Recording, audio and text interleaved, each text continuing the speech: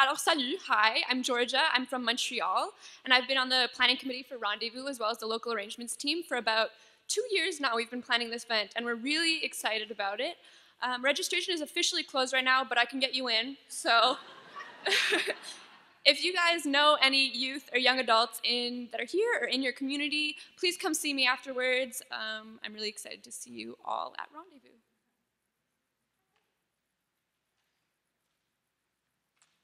And Reverend Karen will be taking a group from Islington to be part of that experience. As you go from this place, don't forget to put pasta in your shopping cart for gathering for the food bank for Mabelle. Don't forget that you are part of a community that is making a difference in God's world each and every day. Go from this place filled with gratitude for the work of these teens and the rest of our teams across the country who have planned not just this worship with intention and prayer, but are making a difference with their lives by following Jesus.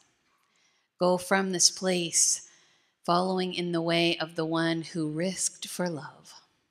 And may the spirit of surprises guide our feet. Oh God, send out your spirit.